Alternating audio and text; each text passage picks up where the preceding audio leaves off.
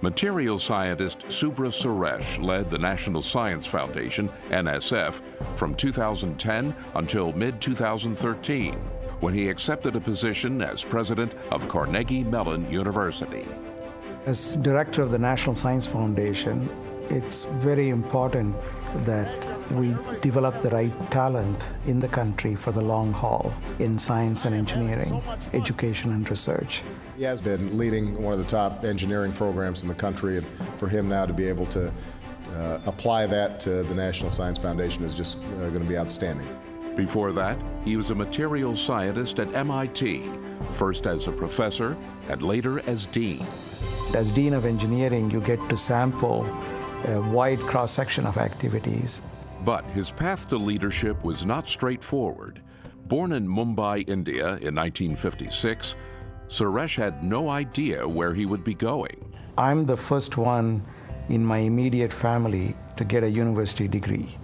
If I were to say one person who really inspired me, it is my mother who felt it was extremely important for me to go to university, and she made a lot of personal sacrifices. And of course, the biggest sacrifice is uh, to convince me to go wherever I need to go to get the best education. He obtained his master's degree in engineering from Iowa State University and his PhD from MIT. After a postdoctoral fellowship at UC Berkeley, he landed his first faculty job at Brown University in 1983. A decade later, he moved back to MIT. The early part of my career, I looked at how big things fail airplanes, big pressure vessels, pipelines, and fracture happening in big structures. I worked in a field for about 10 years, wrote a book, and went on to a different field, and then wrote a book. I went from things that are really big to something smaller. Material scientists try to look at the connection between structure, processing, and performance. One of the things we studied was the effect of that size scale on the properties of materials. Can we make materials better? Can we make them stronger? A lot of the issues that we dealt with uh, with respect to small scale mechanical properties of traditional materials also applies to biological materials. We chose to study mechanical properties of biological cells as they relate to human behavior and human diseases. For example, take a human red blood cell an 8 micron diameter red blood cell has to squeeze through a small blood vessel in the brain, which is several times smaller than its diameter.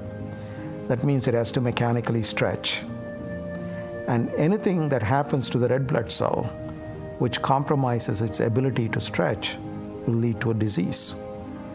If a protein comes from a mosquito that gets to the red blood cell that makes the cell stiff so that it cannot stretch, you can get malaria. It can happen in other diseases, in some types of cancer, things like diabetes. By bringing in very different disciplines together, uh, we can create new domains, new intellectual domains, and potentially new diagnostic tools.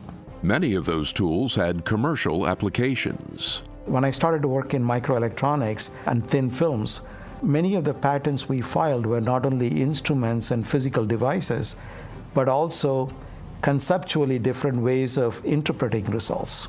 I've had more than 100 students, postdocs, and visitors in my group.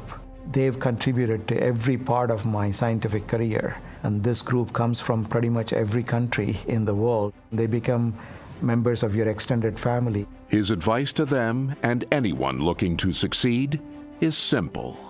Keep your sights on at the global level, not at the local level if you come from a very small town, don't assess your success or failure based on what a few people in your local town do. Keep it at the national level at least, if not at the world level, because all the opportunities are global, all the competition is global, and all the excitement is increasingly global.